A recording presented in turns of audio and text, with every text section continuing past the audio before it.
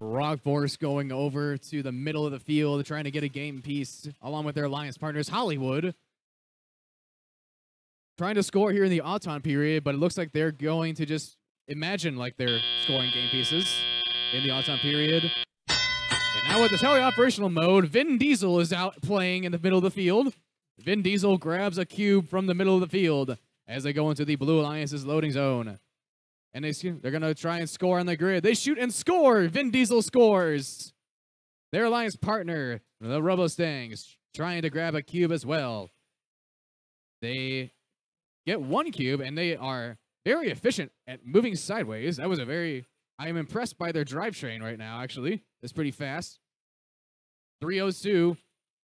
The Dragons running over to the Red Alliance's grid, trying to score a game piece in the mix, looks like the second level or third level. Hollywood goes over to the Red Alliance's loading zone while Vin Diesel grabs a cube and tries to complete a link on the lower level of the Blue Alliance's grid. The Red Alliance has one more completed link thanks to Frog Force. Hollywood trying to make it two. Maybe not. We'll see. They score on the grid of the Red Alliance. Dragons trying to do the same. Vin Diesel is making a lot of noise. Most maybe he's working on a car for his next Fast and Furious movie in the Blue Alliance's loading zone. As he grabs a cube and goes to the Blue Alliance side and scores for the Blue Alliance. Robostangs trying to engage and get a cube from their loading zone as they get one in their possession. Their alliance partner Vin Diesel gets another cube and tries to get to one more link. Can Vin Diesel complete the lower level of the Blue Alliance grid by himself?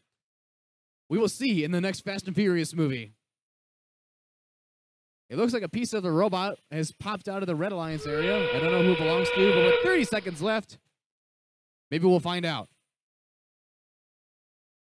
Vin Diesel needs one more cube to complete on the lower level. He completes the, the full lower level as he jumps over the charge station with all of his prowess and force to get on the charge station. Robostangs join Vin Diesel as they try dock and engage the charge station together. And Vin Diesel is docked and engaged along with the Red Alliance.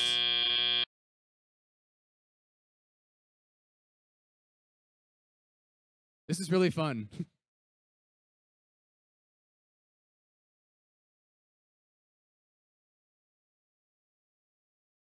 course. The Red Alliance wins that match with a score of 138 to 67.